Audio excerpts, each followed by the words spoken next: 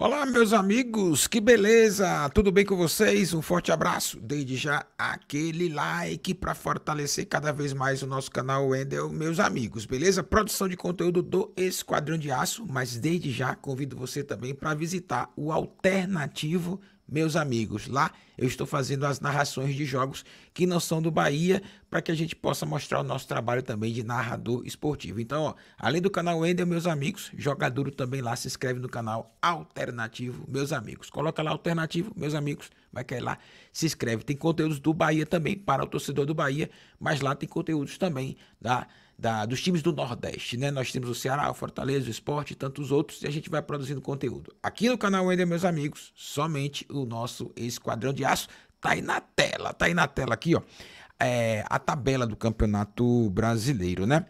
E vem aquela questão: qual é o campeonato do Bahia? E o campeonato do Bahia, de fato, é permanecer na Série A. Já estou convencido com relação a isso. O Paiva já fala. Eu acho que quando o Paiva, Paiva Renato Paiva das suas coletivas, ele fala pelo Bahia, até porque o Cadu Santoro é mais discreto, fala menos, é, outros representantes do Bahia também não falam, o Paiva acaba sendo a voz é, também da diretoria do Bahia, quando ele diz, ó, o nosso campeonato é manter-se na Série A do Campeonato Brasileiro. Deste modo, o jogo contra a equipe do Cruzeiro, ele é de suma importância, muito importante. O Bahia é 15º colocado, tá aí na tabela. 15º, o Cruzeiro é décimo. Então, se a gente vencer, por exemplo, o Cruzeiro, nós não alcançamos a equipe de Minas Gerais. Então, o Bahia precisa vencer. Um outro detalhe, oito pontos. O Corinthians, 16º, tem oito. O Goiás tem sete, a América tem sete e o Vasco tem seis. Todas essas equipes aí, ó, elas podem sair do Z4 e deixar o Bahia no Z4. Então, se a nossa competição é de fato permanecer, não temos um outro resultado que não seja vencer a equipe do Cruzeiro. Posso dizer para vocês, meus amigos, que é muito, não, não vou falar muito porque futebol só, são são caixas de surpresa a todo instante, né? Mas tá no pau a pau ali, tá no tete a tete, tá bom? Tá no mesmo quilo, como eu gosto de falar. É mesmo quilo. Cada um tem o mesmo quilo. Se colocar na balança, é mesmo quilo. Eu ainda vou um pouquinho mais além. Acho que o meio de campo do Bahia é melhor.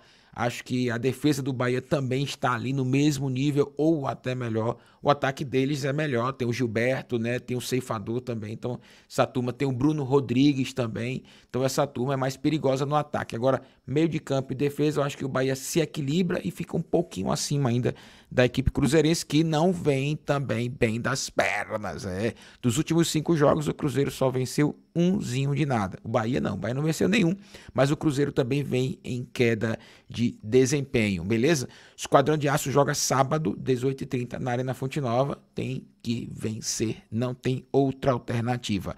Próxima pauta aqui é a repercussão da fala do Renato Paiva, que foi lá para Portugal, meu amigo. O site, o portal A Bola, traz a notícia em primeira página, inclusive, né? Renato Paiva critica adeptos que insultaram a filha nas redes sociais. O Renato falou isso em coletiva, né? Que a filha vem sofrendo insultos na rede social. Ela é jornalista também.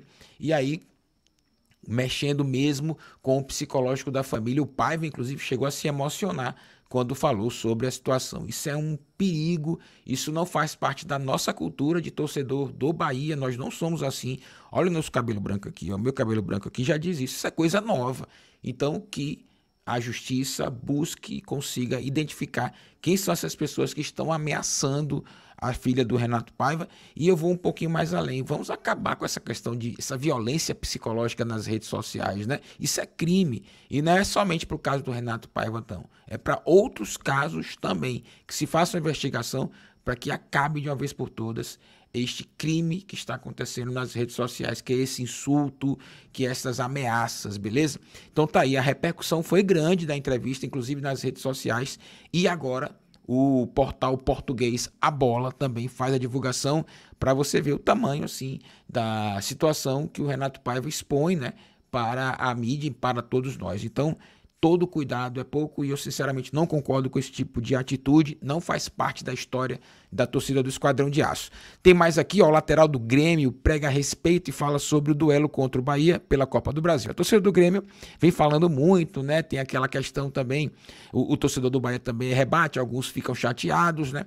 Mas eu acredito o seguinte, jogador respeita, jogador não pode, jogador conhece, sabe que futebol não, não pode é, gritar gol antes do tempo, não pode gritar triunfo antes do tempo, e o lateral esquerdo, o Reinaldo, lateral esquerdo da equipe do Grêmio, ele fala sobre essa questão né, do respeito e o jogo se ganha no campo. E Copa do Brasil, 180 minutos. Renato Portaluppi Renato Paiva, né? Vou se encontrar os Renatos.